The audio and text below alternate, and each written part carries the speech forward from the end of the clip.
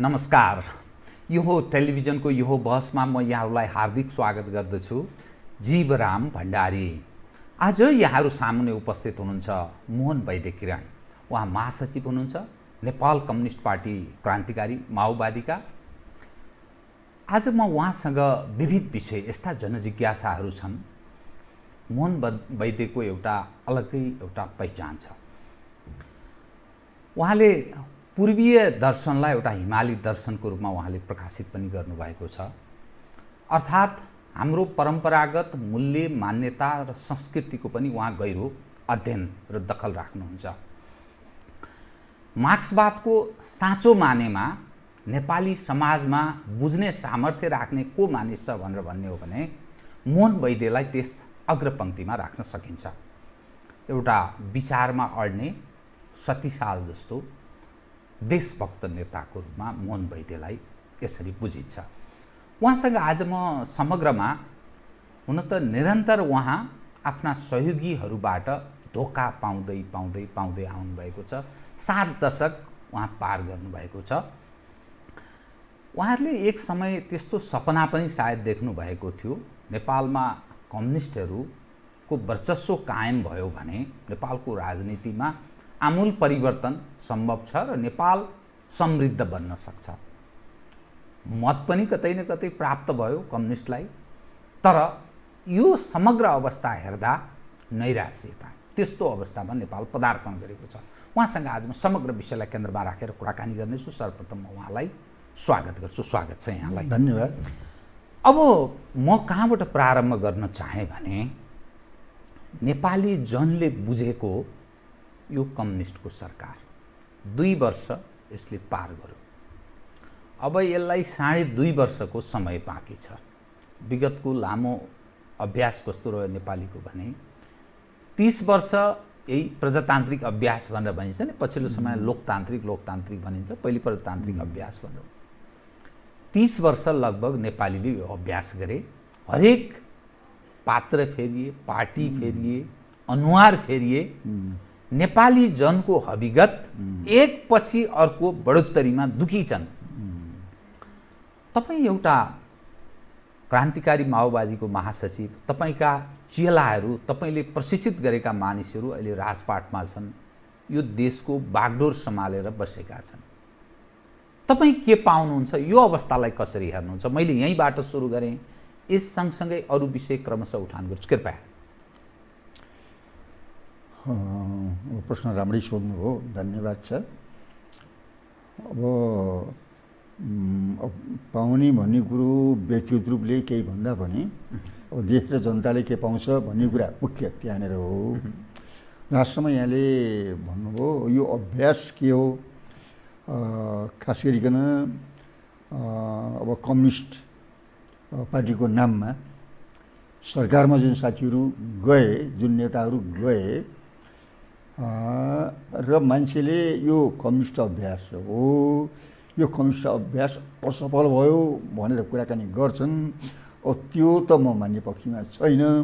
किनभने यो कम्युनिस्ट अभ्यास नभएर संसदमा गिरेका कम्युनिस्टहरूको संसदीय अभ्यास हो।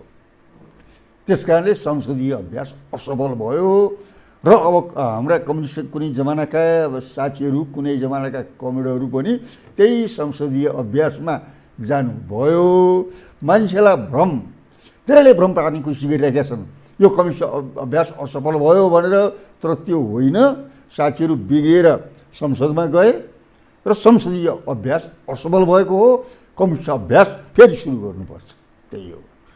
तपाईँबाटै प्रशिक्षित तपाईँकै चेला चपेटाहरू छन्।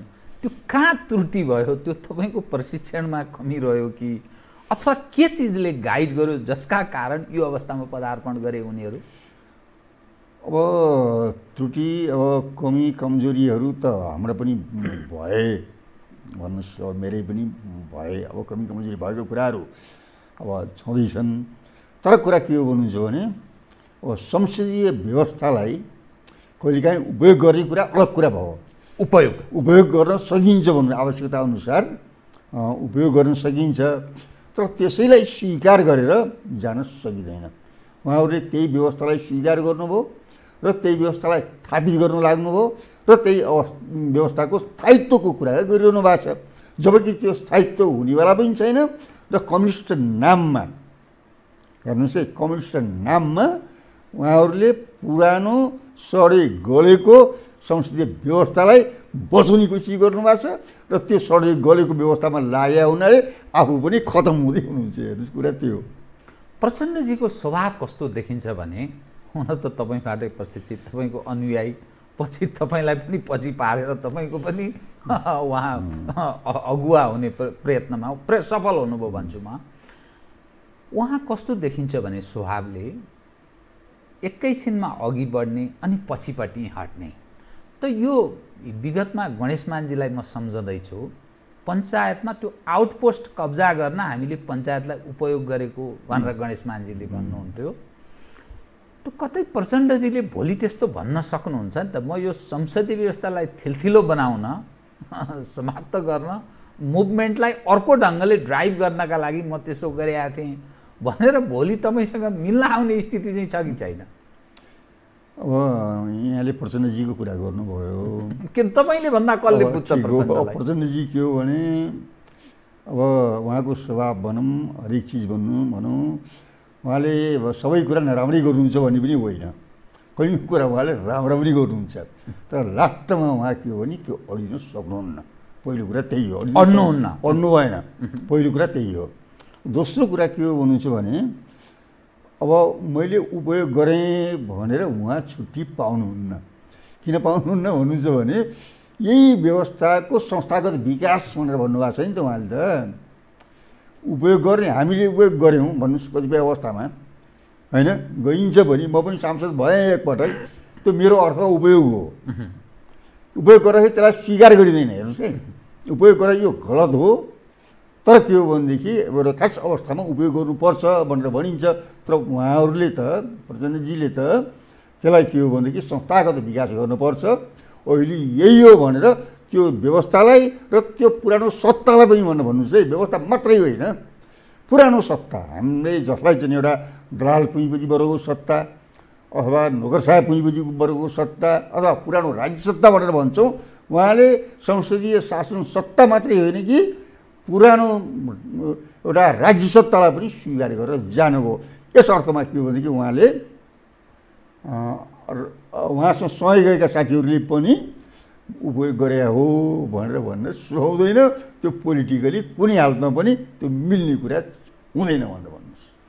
यो सिस्टममा रमाएका मानिसहरूको जो सत्तामा रजगजमा छन् उनीहरूको दाबी के छ भने यो संविधान बहत्तर सालमा जारी भएको संविधान अत्यन्त लचक छ।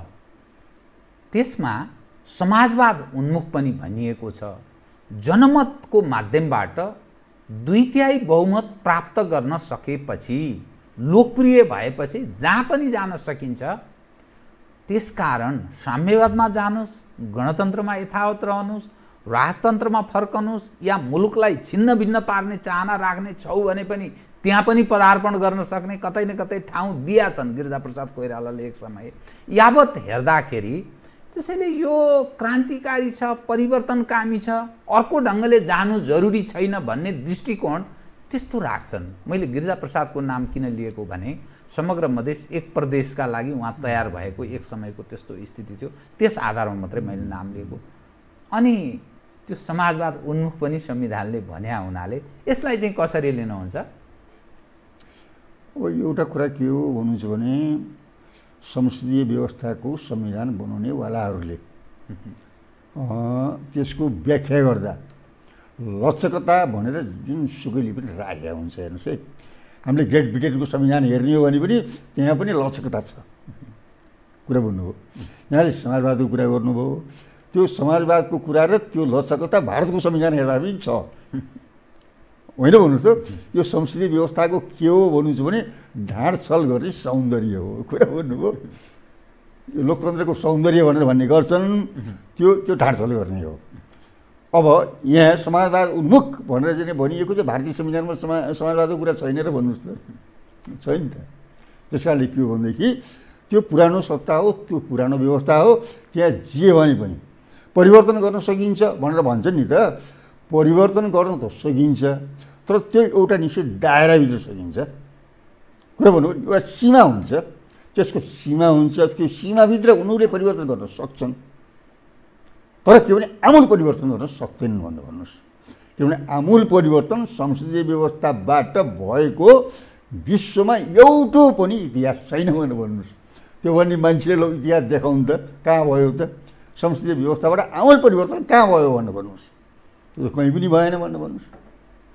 होइन संसदीय व्यवस्थामा लागेका साथीहरू जस्तो इन्डोनेसियाकै कुराहरू आयो नि त इन्डोनेसियामा त्यो संसदीय व्यवस्थाबाट आमूल परिवर्तन गर्छौँ भनी चाहना राख्नेहरूलाई कत्ले आम गरियो। चिलेको उदाहरण छ। होइन र भन्नुहोस् त त्यस कारणले संसदीय व्यवस्थाबाट आमूल परिवर्तन कुनै हालतमा पनि हुन सक्दैन। लचकदार अथवा लचकदा भन्ने खालको कुरा अरू संविधानहरूमा पनि छन्। समाजवाद भन्ने खालको कुरा भारतको संविधानमा पनि छ। हो यी कुराहरूमाथि हामीले बुझ्नुपर्छ। यो के हो भने भुलाउने। भुलाउने कला हो। उहाँहरूले भुलाउने कला भुलाउने नाटक पनि अलिकति भ्रमजाल पनि सृष्टि गरेर सिवाल हुनुहुन्छ त्यही हो भन्नुहोस्। त्यो क्रमशः क्रमशः खुल्दै जान्छ जान्छ। गइराखेको छ भन्नु भन्नुहोस् न। गइराखेको छ। तर अब संसारको इतिहास हेर्दा समाजवाद हुँदै जो साम्यवादमा जाने जो कल्पना अर्थात् तपाईँ जो साम्यवादमा जाने कम्युनिस्टहरूको राजपाटको राज्य सत्ताको पकडको जो कल्पना गरिरहनु भएको छ एक्काइसौँ सदीमा आइपुग्दा यो प्रजातन्त्रको कुरा गर्नेहरू नै असफल देखिने स्थितिमा पदार्पण गरे। कम्युनिस्ट हौँ भन्नेहरू हिजोकै दिनमा विश्वमा विश्वको कुरा गरिरहेको छु हिजोकै दिनमा असफल सिद्ध जस्तो देखिएको छ। उत्तर कोरिया अप्ठ्यारो अवस्थामा बाटो गुजिरहेछ। क्युबाको पनि त्यस्तो अवस्था छ। चिनले आफूलाई अलग ढङ्गले परिष्कृत गरेको तस्विर छ। र नेपालको राजनीतिको कुरा गर्दा किनभने नेपाल सन्दर्भ म मेरो देशको कुरा गर्छु। नेपालको राजनीतिक परिवर्तनमा बाह्य तागतको कुनै न कुनै भूमिका देखिन्छ। तपाईँहरूकै जो बैसठी त्रिसठीको मुभमेन्टको कुरा गर्दा बाह्र बुधेबाट प्रारम्भ भएको यात्रा मुलुक यो थिल्थिलोमा प्रवेश गरेको छ। अनि त्यो साम्यवाद साम्यवादमा प्रवेश गर्ने विषय र विश्वमा त्यो असफल भएको स्वयं संसदीयवाला पनि असफल देखिँदैछन्। त्यो तपाईँले कल्पना गरेको पनि विश्वमा असफल छ। कसरी पुग्न सकिन्छ? अनि विश्व कुनै तागतले सहयोग नगरी नेपालको राजनीतिक परिवर्तन भएको त्यस्तो इतिहास मैले देखेको छैन मैले बुझेको छैन। भलै तपाईँ अझ जानकार हुनुहुन्छ। के आधारमा विश्वास गरेको? अब यहाँले राम्रो कुरा सोध्नुभयो पहिलो कुरा त अब साम्यवाद आधार के हो कसरी सफल हुनसक्छ र दोस्रो कुरा यहाँले के सोध्नुभयो भने कि बाह्य चाहिँ शक्तिले त हुनै दिन्नन् दुइटा कुरा सोध्नुभयो अब म पहिल्यै कुराबाट म सुरु गर्छु पहिलेकैबाट सुरु गरौँ कुरा के छ भन्नुहुन्छ भनेदेखि यो साम्यवाद भन्ने खालको कुरा कुनै कल्पना होइन हेर्नुहोस् है। रहरले लडले यो ल्याउनुपर्छ भन्ने कुरा होइन। यो वैज्ञानिक विषय हो पहिलो कुरा। किनभने एउटा समाजमा त विकास छ नि त। विकासक्रम विकासक्रम विकासक्रम हुँदाखेरि हरेक चाहिँ चिरञ्जीवी हुन्न नि त। केही पनि हुँदैन। त्यही संसदीय व्यवस्था पनि हुँदैन त्यही व्यवस्था पनि हुँदैन।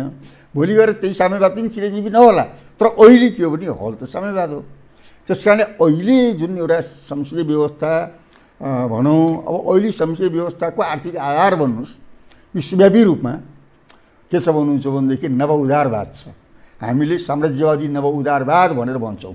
हेर्नुहोस् है नव उदारवादको बारेमा अध्ययन गर्ने हो भने राज्यको भूमिका केही पनि नहुने। सम्पूर्ण बजारलाई छोडिदिने राज्य रमिते भएर हेर्ने। होइन भन्नुहोस् त यो गर्दा। अब यो व्यवस्था सुरु गर्ने बेलामा नवउदारवाद ल्याउने बेलामा रेगन र थ्याचरहरूले के भनेका थिए भनेर भन्नुहुन्छ भनेदेखि देयर इज नो अल्टरनेटिभ यसको विकल्प छैन भनेर भने त्यसलाई हेर्नुहोस् है। मार्गरेट थ्याचर र रोनाल्ड रेगनले। रेगनले। अहिले हेर्नुहोस् है। त्यो भनेको थिए। बेलायत र अमेरिका। अब गर्दै गर्दै गयो धेरै जान पर्दैन। त्यही अमेरिकाको दुई हजार आठको जुन एउटा भयावह एउटा चाहिँ महामन्दिर जुन सङ्कट देखा पर्यो त्यसले त क्वेसन निकाल्यो नि त। राज्यले कुनै पनि हस्तक्षेप गर्न हुन्न भनेर भनेकोमा बैङ्कहरूलाई गुहारेर भन्नु बैङ्कहरूलाई सहयोग गर्नु कि राज्यहरूलाई गुहारियो भन्नुहोस्। राज्यले सहयोग गर्यो नि त बैङ्कहरूलाई। होइन र भन्नुहोस् त। भन्दाखेरि हो त्यो के हो भनेदेखि अब यो चल्दैन। अहिले पनि थुप्रै थुप्रै चाहिँ जटिलताहरू छन्। अब आर्थिक सङ्कट चुलिँदै गइराखेको छ।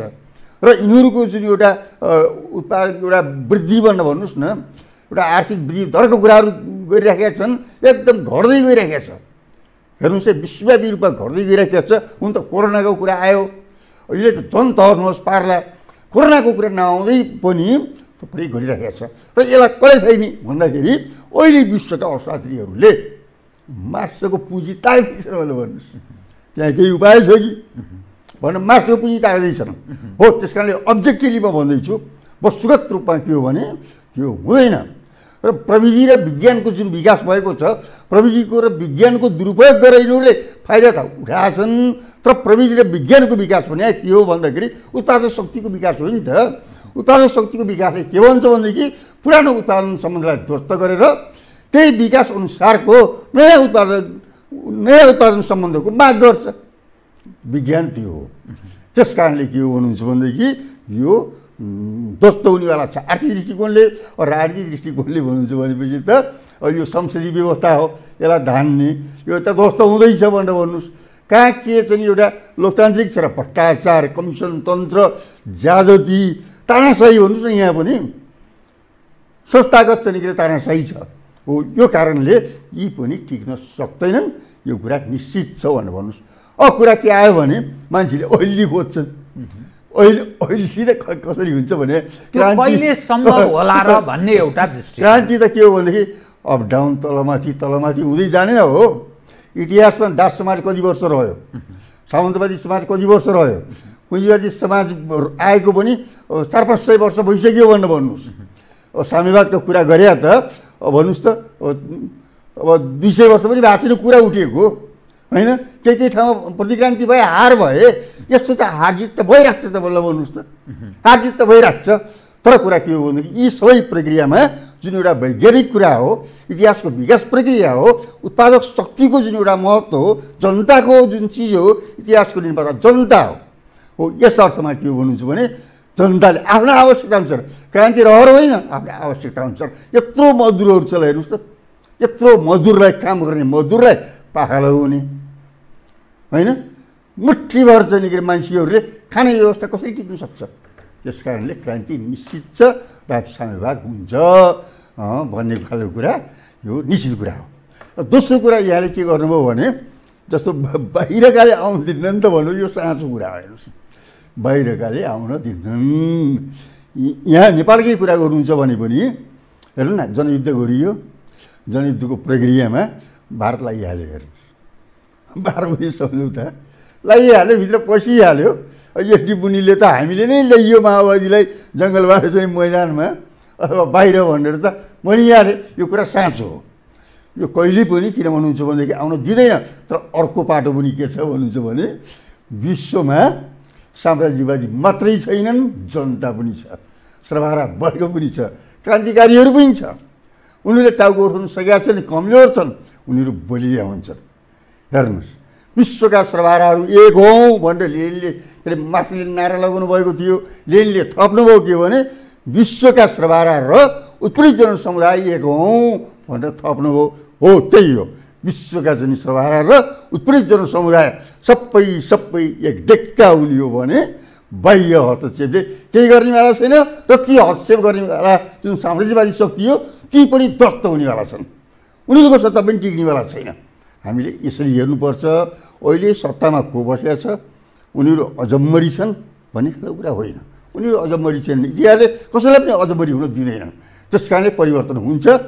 क्रान्ति सम्भव छ साम्यवाद सम्भव छ भन्ने कुरा हो उड्छ एक दिन भन्ने तपाईँको विश्वास। हो हो एकदम। म अलिकति फरक ढङ्गले तपाईँले जो हिमाली दर्शन देख्नुभयो नि त्यहाँ काहीँ न काहीँ तपाईँमा के महसुस भएको हुनसक्छ भने भारतवर्ष भनेर भनिन्छ नि अथवा पूर्वीय दर्शनको जुन कुरा गरिन्छ त्यसमा भारतीयहरूले आफूलाई पूर्वीय दर्शन पूर्वीय दर्शन भनेर पश्चिमाहरूसँग तुलना गरेर त्यसरी जोड दिएको हुनाले कहाँ पूर्वीय दर्शन? हाम्रो हिमाल क्षेत्र हाम्रो हिमाली दर्शन। सायद तपाईँले त्यसलाई इङ्गित गरेर तपाईँलाई मैले प्रारम्भमा एउटा देशभक्त नेताको नेता पनि भने। मैले तपाईँलाई बुझ्दा त्यसरी बुझ्छु। भलै कति वैचारिक हिसाबले कतिपय सहमत विमति त्यो अलग ठाउँमा छ। मेरो पेसा पनि अलग भएको हुनाले म आफूलाई अलिक अलग राख्छु। दलगत स्वार्थभन्दा अलिक माथि उठ्ने प्रयत्न गर्छु मेरो पेसाका कारण। अनि त्यो बाह्र बुधेमा तपाईँ प्रचण्डको पनि तपाईँ गुरु हो।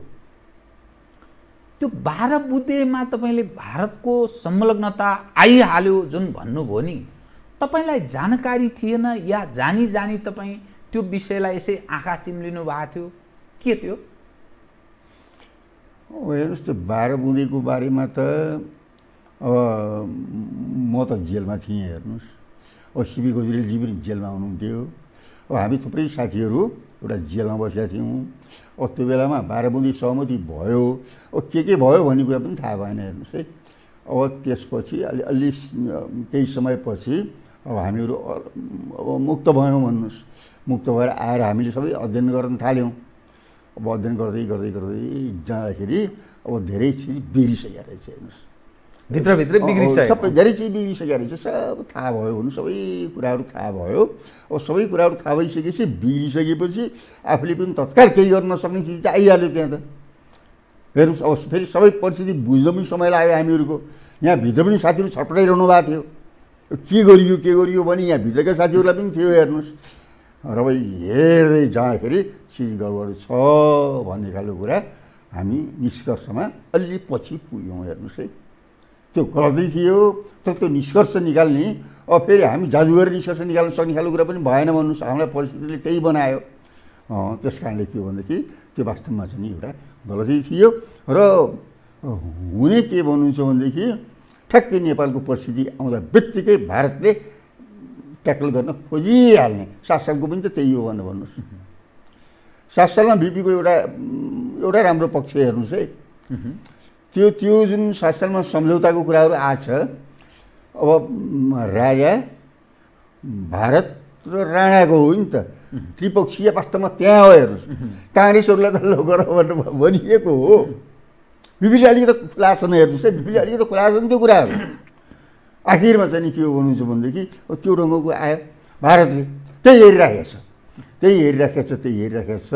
अब यो यत्रो यो चिजहरू हुँदाखेरि यहाँ के हो भनेदेखि देशभित्रको देशभक्तहरूले के गरे? अलिकति यत्रो चाहिँ माहौल बनिराखेको अवस्थामा त्यही भारतलाई भन्ने एउटा क्वेसन पनि उठिराखेको छ। हेर्नुहोस् है यो कुराहरू। हेर्नु एउटा गम्भीर कुरा हो क्या भारतै भारतको विरुद्ध अब हामीले मात्रै गर्दैनौँ नि त।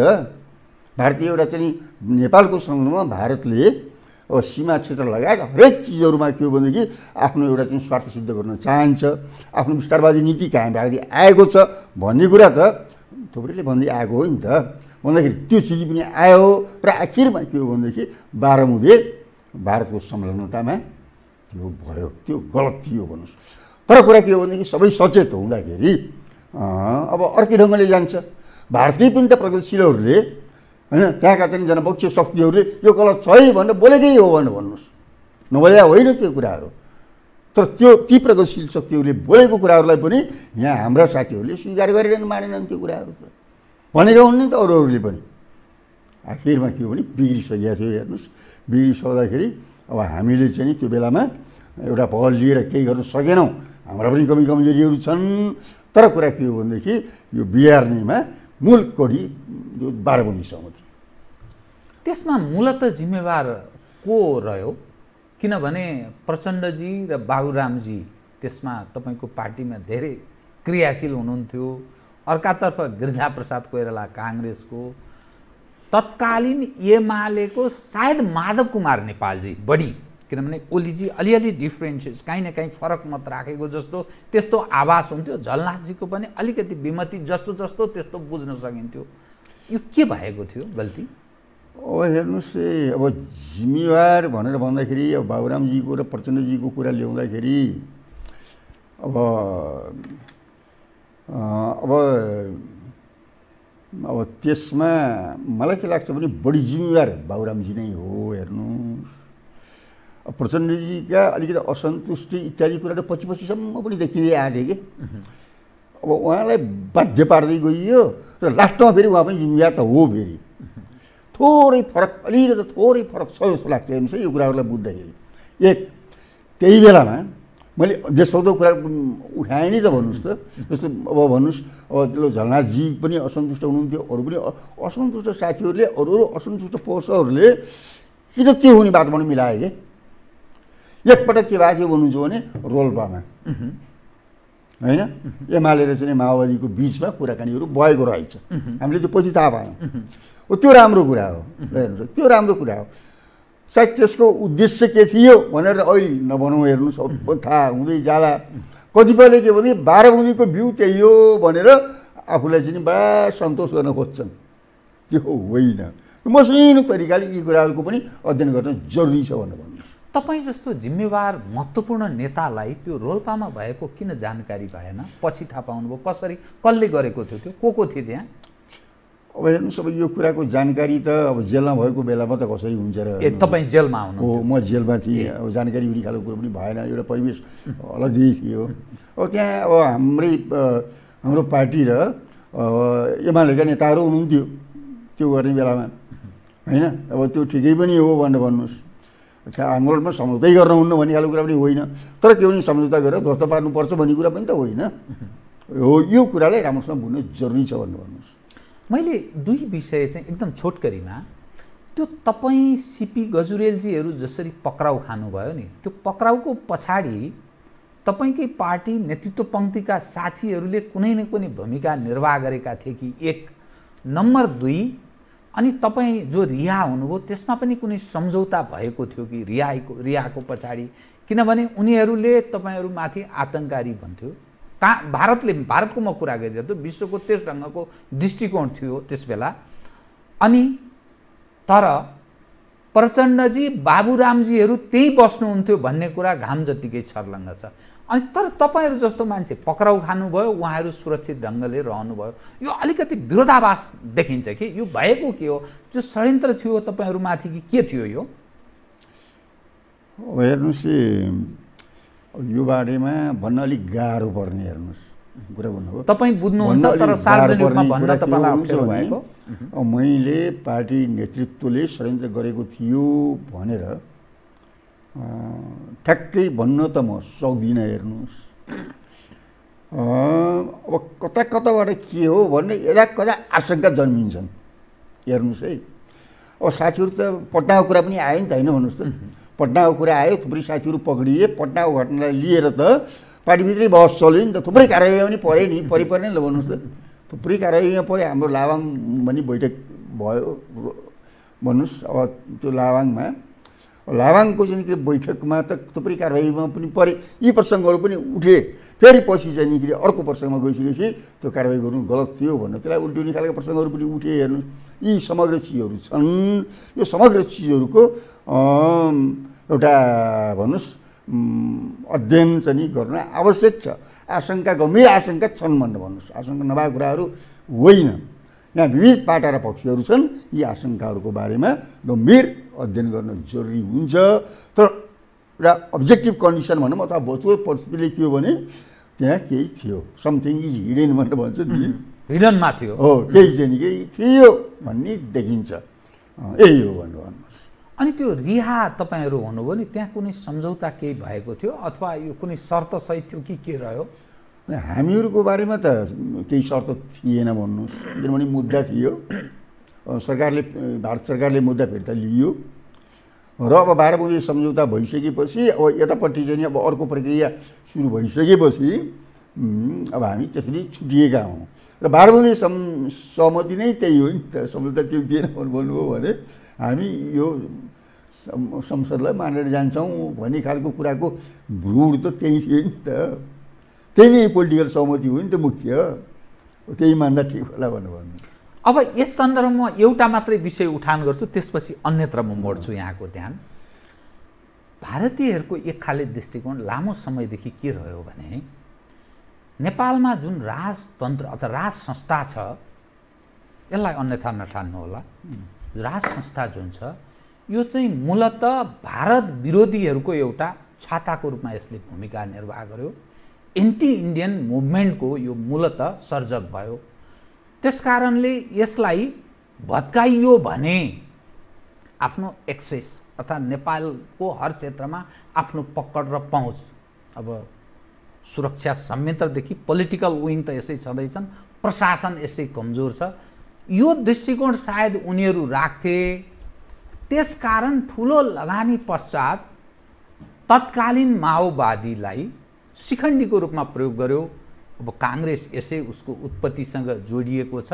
तत्कालीन एमाले कता न कता ऊ अलिकति के अलि बाटो बिराएको जस्तो स्थितिमा थियो। त्यसकारण यो स्थिति भयो भन्ने दृष्टिकोण पनि मानिस राख्छन्। यो मेरो दाबी होइन। मानिसहरूको विश्लेषण हो त्यो। भारतीयहरू कतिपय त्यो दृष्टि दृष्टिकोण खुलेर पनि राख्छन्। यहाँले एसटी मुनिहरूको कुरा गर्नुभयो श्याम शरणहरू यी मानिसहरूको त्यो सार्वजनिक रूपमा यो चाहिँ भारत विरोधी एउटा संस्थाको रूपमा विकास भयो त्यस कारण हामीले फालिदिउँ भन्ने दाबी पनि गर्छन्। उनीहरूको सार्वजनिक अभिव्यक्ति पनि आएको छ। कता कता तपाईँलाई त्यस्तो फिल त भएको छैन? यद्यपि तपाईँ क्रान्तिकारी माओवादीको महासचिव हुनुहुन्छ। त्यो मोनार्कीको उन्मूलनसँगै हामीले आफै उन्मूलन गर्न पाएको भए त राम्रो हुन्थ्यो तर उनीहरूको भूमिका निर्णायक भएको हुनाले हामीले काहीँ न काहीँ त्यो अस्मितामाथि अलिकति बेइमानी जस्तो हामीलाई भन्ने आत्मग्लानीको म कुरा गरिरहेको छु। त्यो महसुस त गर्नु भएको छैन तपाईँले? अब यो प्रसङ्ग पनि यहाँले अब उठाउनु भयो हेर्नुहोस्। यो प्रसङ्ग पनि धेरै महत्त्वपूर्ण प्रसङ्ग छ।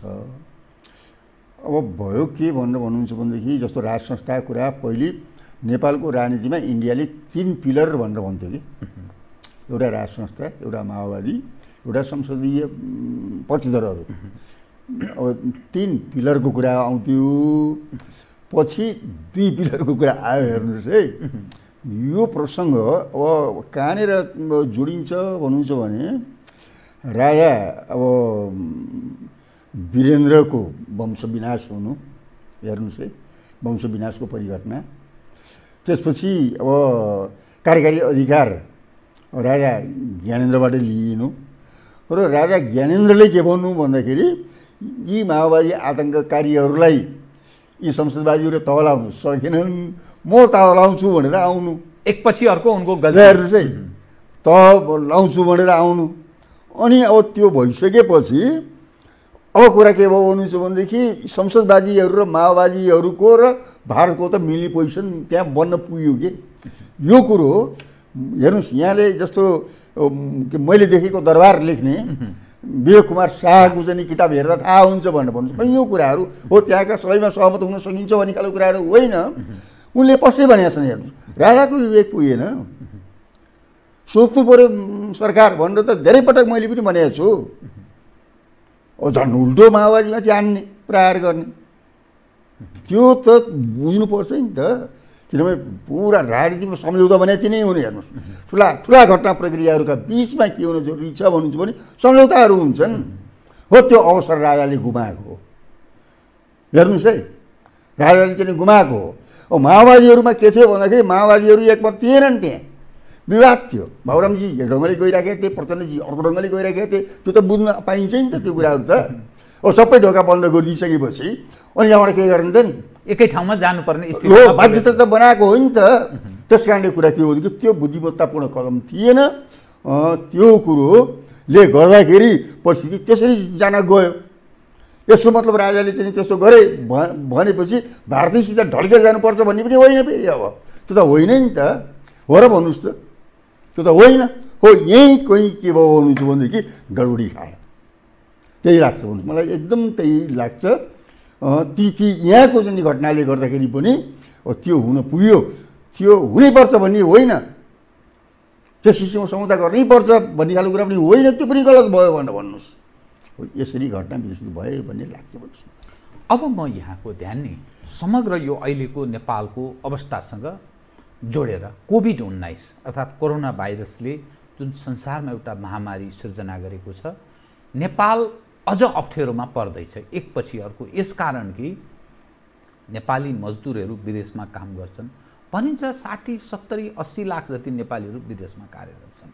उनीहरू अप्ठ्यारो अवस्थामा गुज्रेका छन् र यसै बेला यहाँ एक खाले छलफल के गर्न थालिएको छ भने बहुराष्ट्र बहुधर्मको कल्पना। मान्छे त्यसरी पनि विश्लेषण गर्न थाले। उनीहरू पीडित हुँदैछन्। आफ्नो देशमा फर्कने अवस्था पनि सिर्जना गरेको छैन। लोक कल्याणकारी राज्य एज अ अभिभावक त्यो भनिन्छ जो सरकारलाई। त्यो अभिभावकको भूमिका सरकार निर्वाह गरिरहेको छ मान्छे दिनानुदिन अप्ठ्यारो अवस्थाबाट गुज्रिरहेको छ। यसले सिर्जना गर्न सक्ने नेपालको समस्या आर्थिक एकातर्फ छ। यसले राजनीतिमा के असर गर्छ?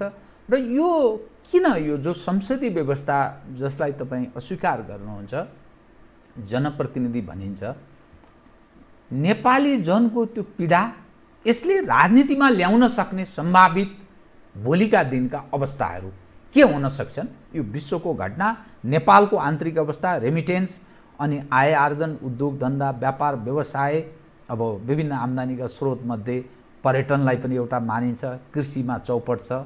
उद्योगहरू सबै हाम्रो खासै उद्योग त्यस्तो छैन। राज्य कसरी चल्छ भोलिका दिनमा राजस्व कसरी उठ्ला जुन खालको खर्ब एघार बाह्र खर्बको जो कल्पना गरिएको छ बजेटको यो कसरी चल्ला के होला भन्ने तपाईँ विश्लेषण गर्नुहुन्छ?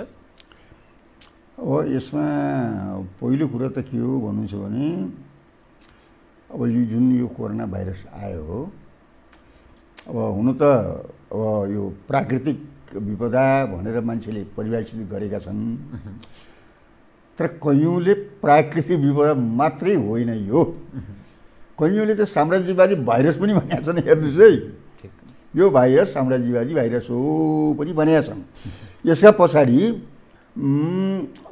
जलवायु जुन एउटा परिवर्तन हुँदै आइरहेको छ जुन एउटा चाहिँ विश्वव्यापी उष्णताको चाहिँ एउटा महामारी छ भन्नुहोस् योसँग कतै जोडिएको छ कि छैन? हो यो प्रश्न पनि छ। हेर्नुहोस् है यो प्रश्न छ। यो अलि अध्ययन गर्दै जानुपर्ने प्रश्न हो। एक म यसमा बढी जान्न। दोस्रो कुरो यहाँले जुन भन्नुभयो नि आर्थिक तबाहीको कुरा एक त तबाही थिँदै थियो हेर्नुहोस्। यसले त विश्वव्यापी रूपमा थप्यो। होइन र भन्नुहोस् त अहिले त सम्पूर्णको अर्थतन्त्र अब ध्वस्त हुँदैछ भनेर भन्नुहोस्। उकालो लाग्नेवाला छैन। आर्थिक वृद्धि दर सबका सब घट्नेवाला छ विश्वभरि। आँकडा आइरहेका छन् भनेर भन्नुहोस् नेपालमा पनि त्यही कुराहरू आइरहेका छ। यसले के भने अर्थतन्त्र ध्वस्त हुनेवाला छ। दोस्रो कुरा त्यही भइहाल्यो। तेस्रो कुरा नेपालमा आउँदाखेरि अब दुईवटा कुरा जस्तो यहाँले उठाउनुभयो नि। बाहिर गएका नेपालीहरूको कुरा र रेमिटेन्सको कुरा। अब रेमिट्यान्सले धानेको नेपाल। होइन? बजेट घाटाको परिपूर्ति गर्ने पनि रेमिट्यान्स हो। अब त्यो स्थिति छैन रहेन गर्दै गइरहेको छ। अब अब त्यस कारणले पनि के हो भनेदेखि अर्को सङ्कट। अब यसले माग गर्ने कुरा के हो भन्नुहुन्छ भने जस्तो विदेशीकाहरूका ल्याइएन। गएका भन्दाखेरि उनीहरूको अधिकार छ। आउने अधिकार छ। उनीहरू बाहिर रहरले गएका होइनन्। उनीहरू एउटा बेरोजगारीको समस्याले पिल्चिएका हुन्। देशभित्र रोजगारीको सिर्जना गर्नुपर्छ भन्ने कुरा हो। यो सरकार विदेशी लगानी भनेर उब्रिन्छ विदेशमा श्रमिकहरू चाहिँ एउटा पठाउँदाखेरि यसले गौरव ठान्छ। रेमिट्यान्सबाट चाहिँ बजेट जाँदाखेरि गौरव ठान्छ। त्यो गौरवको विषय होइन। त्यो उन्नतिको विषय होइन। सुखी नेपाल र समृद्धि समृद्ध नेपाल र सुखी नेपालीको परिकल्पना रेमिटेन्सको पैसा खाएर हुँदैन। साम्राज्यवादी नवउदारवादको निर्देशनमा चलेर हुँदैन। देशभित्र के भने राष्ट्रिय उद्योग धन्दाको विकास गर्नुपर्छ देशभित्र के रोजगारीको सिर्जना गर्नुपर्ने खालको कुराहरू हुन्छ। यो क्वेसन अब टड्कारो रूपमा आयो भनेर भन्नुहोस्। आयो नि त अब त। टड्कारो रूपमा आयो। अहिले कोरोनाकै कुरा गर्दाखेरि पनि त बाहिरबाटको बाहिर किन गए मान्छेहरू ल भन्नुहोस् त? रोजगारी नभएर गए गएका हुन्। हो त्यसकाले दीर्घकालीन समाधान के हो भन्नुहुन्छ भने यो रोजगारी। रोजगारीको हो भारतसँग कुरा गर्नुहुन्छ भने अब सीमा नियन्त्रणको कुराहरू आयो। हामीले कारोबार लगाउने कि नलगाउने ल भन्नुहोस् त अब। आयो नि त तर त्योभन्दा अगाडि रोजगारीको समस्या हल गर्ने कि नगर्ने देशभित्रै हो यो गम्भीर समस्या आयो। यो समस्याको हल यो संसदीय व्यवस्थाले गर्न सक्दैन। त्यस कारणले पनि यो असफल छ भनेर भन्नुहोस् है। कहाँ पदार्पण गर्छ? हो सकेन यसको हल भनेको के हो भने वैज्ञानिक समाजवाद हो। क्रान्तिकारी कम्युनिस्टहरूले हल गर्छन् यो कुराहरूको बारेमा। बाहिर गएकाहरूलाई सबै आउने अधिकार छ। व्यवस्था गर्नु पऱ्यो क्वारेन्टाइनको व्यवस्था गर्नु पऱ्यो राख्ने व्यवस्था मिलाउनु पऱ्यो र बाहिरबाट आउनेहरूलाई अधिकार छ। तर यहीँ देशभित्र रहेका मजदुरहरूलाई हेर्नुहोस् त बेहाल। राहत भनेर भनेको छ राहत वितरण भनेर भनेको छ खोइ राहत वितरण भन्नु सरकारले? बेहाल भएर मजदुरहरू गाउँ गाउँ घर घर पर्खिराखेका छन्। ल भन्नुहोस्। त्यो दुर्दशा त्यो दुर्दशा छ। त्यस कारणले कुरा के हो भनेदेखि अब यो यो सरकारले गर्न सक्नेवाला छैन। अधिकार बाहिरबाट आउनेहरूलाई अधिकार छ। यहाँ चाहिँ क्वारेन्टाइनको व्यवस्था गरेर राख्नु पर्छ सरकारले र त्यसको साथसाथै यो तात्कालिक कुरा भयो। साथसाथै के भने दीर्घकालीन दृष्टिकोणले एउटा रोजगारी सिर्जना गर्ने पनि एउटा व्यवस्था गर्नुपर्छ। र अहिले जुन एउटा बेरोजगारहरू छन् यी बेरोजगारहरूलाई एउटा भत्ता दिनुपर्छ। कुरा भन्नुभयो बेरोजगारी भत्ता। एउटा चाहिँ सरकारले त्यो आइटम सिर्जना गर्नुपर्ने हुन्छ उसले बजेटमा भनेर भन्नुहोस्। उता पनि गर्न नसक्ने उता पनि गर्न नसक्ने तमासा हेर्ने अनि अब नव उधारवाद भन्दाखेरि त राज्य त तमासै नै हो। राज्य तमासै राज्य किन चाहियो भने कि? तमासे राज्य तमासे राज्य हो नि त्यो त रमिता हेर्ने यो राज्य हो यसको त अर्थै छैन भनेर भन्नुहोस्। त्यस यो कोरोना भाइरस जुन एउटा कोभिड नाइन नाइन्टिनको जुन एउटा सङ्क्रमणको कुराहरू अथवा महाप्रकोपको कुराहरू महाविपदाको कुराहरू आयो। यसबाट धेरै धेरै कुराहरू सिक्नुपर्छ। यसको अर्थ के हो भन्नुहुन्छ भने देशभित्र रोजगारीको सिर्जना बेरोजगारी भत्ता पुरानो सत्ता र व्यवस्थाको अन्त होइन? सरकार फेर्ने मात्रै होइन। अब व्यवस्था फेर्नुपर्छ। त्यो व्यवस्थाबाट काम लाग्दैन भन्ने खालको कुरा देखियो। विश्वमा चाहिँ देखियो भन्नुहोस् त।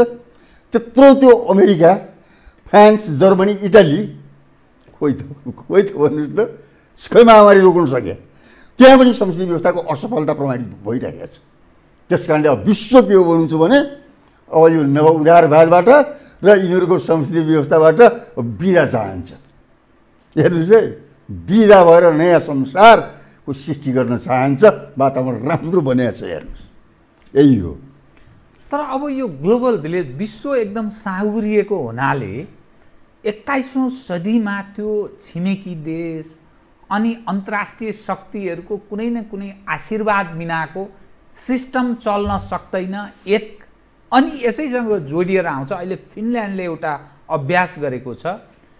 कुनै पनि व्यवस्था त्यहाँको जनताका लागि न्यूनतम आवश्यकता पुरा भएन भने कुनै पनि व्यवस्था चल्न सक्दैन। त्यसकारण जो बेरोजगार छन् तिनीहरूलाई न्यूनतम पैसा दिनुपर्छ। अर्थात् झन्डै झन्डै बाह्र सय युरो बेरोजगारहरूलाई जो काम पाउँदैनन् तिनीहरूलाई दिने प्रारम्भ गरेको छ। त्यहाँ एक हिसाबले त्यहाँ मानिस सन्तुष्ट जस्तो देखिन्छ। त अब यो संसारमा जुन आएको परिवर्तन यावत चित्त छ कि तर त्यो आशीर्वाद बिना चल्न नसक्ने र हाम्रो जस्तो सानो देश अनि त्यो चल्न सक्छ त तपाईँ जुन कल्पना गरिरहनु भएको छ फेरि काहीँ न काहीँ शक्तिशाली देशहरू यो प्रजातन्त्र प्रजातन्त्र भनेर भन्छन्। निरङ्कुशमा पनि सम्भव छैन। अब जो माओले जो कल्पना गरेका थिए माओवाद तपाईँहरू क्रान्तिकारी माओवादको कुरा गर्नुहुन्छ त्यसबाट असहयोगी बन्छन्। कसरी चल्छ? अब अब यो प्रश्न पनि राम्रो प्रश्न गर्नुभयो हेर्नुहोस्। ग्लोबल अथवा विश्वव्यापी भन्ने कुरो साम्राज्यवाद मात्रै हो नि त। ग्लोबल सर्वहारा ग्लोबल समाजवाद ग्लोबल साम्यवाद। विज्ञान प्रविधिले त त्यो बनाइदिइहाल्यो नि त उत्पादन शक्तिले त। त्यहाँ जाने हो। ग्लोबल भएर यिनीहरूले सक्दैनन्। ग्लोबल अर्कै हुनु पऱ्यो अब। सर्वहारा वर्गको एउटा ग्लोबल होइन? विश्व साम्यवादी व्यवस्था हो। हामी चाहिँ ग्लोबलको विरोध गर्नेवाला हो र ग्लोबलले त शोषण उत्पादन ग्लोबल अथवा विज्ञान प्रविधिको विकासले अब साम्राज्यवादको सेवा गर्यो। त्यो साम्राज्यवादको सेवा गर्नुहुन्न। सर्वहारा वर्ग र उत्पीडित जनताको सेवा गर्नुपर्छ। अब हामीले ग्लोबल साम्यवाद ल्याउनुपर्छ भन्ने कुरा त्यही हो। त्यसको निम्ति वातावरण राम्रो बनाएको छ हेर्नुहोस्। बाहिरका देशहरू अमेरिका फ्रान्स जुन मैले नाम पनि लिएँ ती साम्राज्यवादीहरूको मात्रै होइन नि त पुँजीविदीहरूको मात्रै हो र सर्वहारा वर्गको हो। होइन र भन्नुहोस् त सर्वहारा वर्ग पनि छन् त्यहाँ। त्यहाँ हाम्रा साथीहरू पनि छन् हाम्रा मित्रहरू पनि छन्। उनीहरू हामीहरू सबै मिलेर ल्याउने खालको कुरा हो। उनीहरू जागृत भयो भनेदेखि त यहाँ दमन गर्न को आउँछ र भने के? आउँछ र भन्नुहोस् त। उनीहरू पनि जागृत हुनु पऱ्यो सबै जागृत भएपछि हेर्नुहोस् विश्वमा अर्कै रौनक आउँछ तर अलिकति समय पर्खिनु पर्ला। अहिले भने त हुँदैन। अलिकति भने अलिकति समय लाग्छ भन्नुहोस्। अलिकति मान्छेको चेतनाको विकास हुँदै जान्छ। अनि त्यहाँबाट चाहिँ के हो भनेदेखि यिनीहरूलाई त आन्दोलनका आन्दोलन हडतालका हडताल चाहिँ उठ्छन् हेर्नुहोस्। अहिले पनि हेर्नुहोस् अहिले पनि थुप्रै देशहरूमा उठिन्छ आन्दोलन गरेर लड व्यापक व्यापक रूपमा। श्रम र पुँजीको असमानता भन्नुहोस् अन्तर्विरोध आर्थिक असमानता केही निश्चित व्यक्तिहरूका बिचमा चाहिँ धन सम्पत्ति चाहिँ एकीकृत भएर जाने त्यसका विरुद्ध त आज उठिराखेका छन् नि त। यी सबैको लक्षण के हो भन्नुहुन्छ भने हरेक देशमा त्यहाँका शोषकहरूका विरुद्ध मजदुरहरू उठ्छन्। र उनीहरूले उनीहरूले विश्वका अरू मजदुरहरूलाई पनि सहयोग गर्छन्। अब हामीले पनि त्यही हो।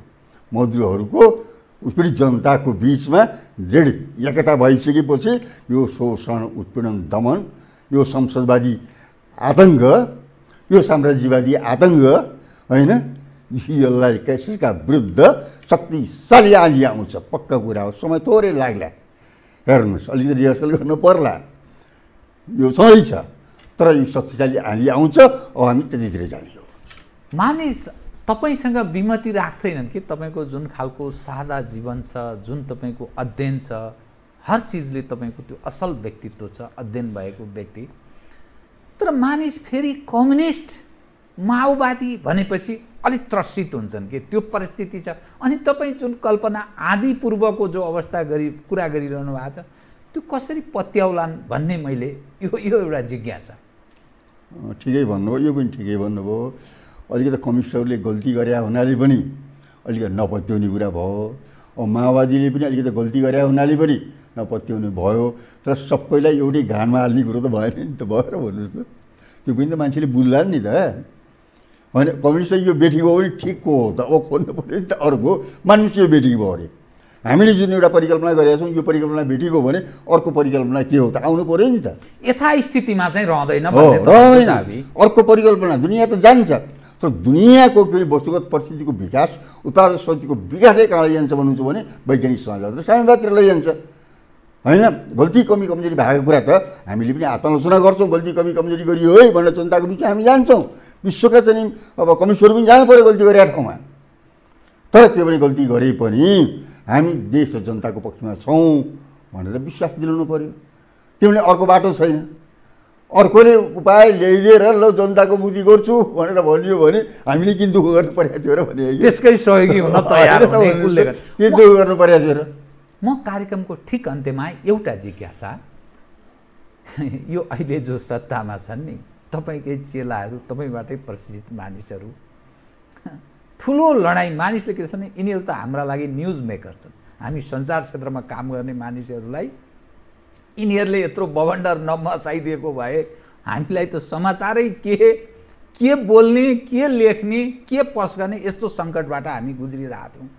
आकस्मिक यो नेपाल कम्युनिस्ट पार्टी नेकपाभित्र झगडा भयो अनि फेरि सामसुम भयो। मैले किन यो विषय उठान गरेको भने तपाईँबाटै प्रशिक्षित मानिसहरू त्यहाँ निर्णायक तहमा भएको कारण अनि त्यहाँ फेरि चिनिया राजदूतको उपस्थिति भेटघाट अनि त्यो सम्पूर्ण विषयलाई सम प्याचअपमा त्यो सम्झौतामा टुङ्गिएको कुरा। कतिपय मानिसले भने भारतीय हस्तक्षेप हुँदा भारतको राजदूत सक्रिय हुँदा त ठुल्ठुलो कुरा गर्थे। यहाँका कम्युनिस्ट हौँ देशभक्त हौँ भन्नेहरू अब यो चिनिया राजदूतको यो भूमिका उप के भन्छन् भन्ने एउटा दृष्टिकोण पनि छ। यथार्थमा तपाईँलाई चाहिँ कस्तो महसुस भयो? यो नेकपाभित्रको यो लडाइँ अनि सामसुङ अनि एउटा सम्झौतामा टुङ्गेको र राजदूतको त्यो भूमिकाको एकदम छोटकरीमा कृपया। पहिलो कुरा के हो भन्नुहुन्छ भनेदेखि यो जुन आफ्नै पार्टी पनि फुटाउने अरूको पार्टीलाई पनि फुटाउने भनेर जुन अध्यादेश अब ओलीजीले ल्याउनु भयो त्यो नितान्त गलत थियो भन्नुहोस्। त्यसको आफ्नै पार्टीभित्र पनि विरोध गरे त्यो सकारात्मक पक्ष हो। हेर्नुहोस् है। सबले विरोध गरे त्यही पार्टीभित्र विरोध भयो यसलाई हामीले सकारात्मक उसमा लिन्छौँ। दोस्रो कुरा के हो भन्नुहुन्छ भनेदेखि उनीहरू फेरि मेलमिलापमा टुक्राउँदैछन् यो के हो भने यिनीहरू आखिर पदका भोगा हुन्। एउटालाई कुर्सीबाट हटाएर अर्को कुर्सीमा आउन खोज्छन्। त्यो गलत हो। हेर्नुहोस् है। हो यो पदको चाहिँ भोगा हुन् पद लिप्सा हो भन्ने खालको कुरा पनि यो थामथुम पारेपछि दुनियाँलाई जगजाएर भयो। दोस्रो कुरा यो हो। तेस्रो कुरा के हो भन्नुहुन्छ भने यिनीहरू जति मिले पनि। यिनीहरू मिल्दैनन् अन्तर्कलह भुसको आगो जस्तै अगाडि बढेर जान्छ। तर त्यो अन्तर्कलहबाट जनतालाई त्यतिका ठुलो फाइदा हुँदैन। तर यिनीहरू आफै सिद्धिन्छन् यो ठिकै कुरा हो भन्नुहोस्। आफै आफै सिद्धिने यात्रामा यिनीहरू जानै पर्छ भनेर भन्नुहोस्। यिनीहरूले हल गर्नु सक्दैनन्। जानै पर्छ यो ठिक छ। र त्यहाँ चाहिँ एउटा सङ्घर्ष गर्ने साथीहरूले जुन एउटा अध्यादेश प्रकरणका विरुद्ध अरू अरू प्रकरणका पनि विरुद्ध लडेका छन् उनीहरूलाई धन्यवाद दिनुपर्छ। यो एउटा पाटो अब यहाँले राख्नुभयो राजदूतको कुरा हेर्नुहोस् है। अब राजदूतको कुरालाई कसरी व्याख्या गरौँ भन्नुहुन्छ भने कृपया। अब अब यो कुरो हरेकले हरेक ठाउँबाट आफ्नो भूमिका त निर्वाह गरेकै छन्। छैन त भन्नुहोस् त। हो त्यही भूमिका। अब चाइनाले पनि खेल्यो। यसलाई कुनै अस्वाभाविक एउटा आकस्मिक घटनाको रूपमा ठान्ने कुरा भएन भनेर भन्नुहोस्। अमेरिकी राजदूतहरूले भारतीय राजदूतहरूले पनि त भूमिका खेलिराखेका छन् कतिपटक आइरहेका छन् नि त। उनीहरूको भूमिकाको बारेमा। अब मान्छेले कुरा उठाउँदैनन्। खास गरेर यो यो भन्नुहोस् न मिडियाको एउटा पक्षले भने सबैलाई म भन्दिनँ हेर्नु मिडियाको एउटा पक्षले चिनका कुरा खोप उठाउने अनि त्यहाँबाट चाहिँ के अरे भारतको कुरा नउठाउने गर्छन्। भारतले पनि त कति कहाँ भूमिका खेलिरहेको छ त यहाँ। त्यो उजागर भएन के? हो यो के हो भनेदेखि यो बेठीको। यहाँ चिनले ठिक गर्नुपर्छ यहाँ हस्तक्षेप गर्नुपर्छ भन्ने खालको कुरा मैले भन्न खोजेँ होइन भनेर भन्नुहोस्। यहाँ सबैले गरे एउटाले मात्रै गरेका छैनन्। अब कसले के भन्छ भन्ने कुरोमा त त्यो त अर्काको कुरा सुन्ने कुरा भयो गर्ने आफूले गर्ने कुरा भयो। होइन त्यो त हो नि त। अर्काको कुरा त आजको दुनियाँमा सबले आफ्नो कुरा सुनाउँछन्। आफ्नो कुरा गर्नेमा अब के गर्छौँ? थाई सिमिति बस्दैछ। थामथुम कति हो। त्यहाँका साथीहरूले के गर्छन्? त्यो हेर्न बाँकी छ। परिवर्तनले मुलुकलाई यो अवस्थामा पदार्पण गरेछ। अर्थात् बाह्य तागत यो ढङ्गले प्रिभेल गर्दो। रहेछ त्यो ढङ्गले क्रियाशील रहेछ। हामी त्यहाँ प्रवेश गरेछौँ भनेर यसरी बुझ्नुपर्ने भयो। हस् केही विषय म अरू कुरा गर्न चाहन्थेँ। समयले यतिसम्म साथ दियो कार्यक्रममा आइदिनु बहुत धन्यवाद छ यहाँलाई। धन्यवाद यहाँलाई पनि धेरै धेरै धन्यवाद। आदरणीय दर्शकवृन्द उहाँ हुनुहुन्थ्यो मोहन वैद्य। नेपाल कम्युनिस्ट पार्टी क्रान्तिकारी माओवादीका महासचिव। लगायत मेरो सम्पूर्ण युनिटलाई कार्यक्रमबाट बिदा दिनुहोस् तर यो टेलिभिजन हेर्दै रहनुहोला। नमस्कार।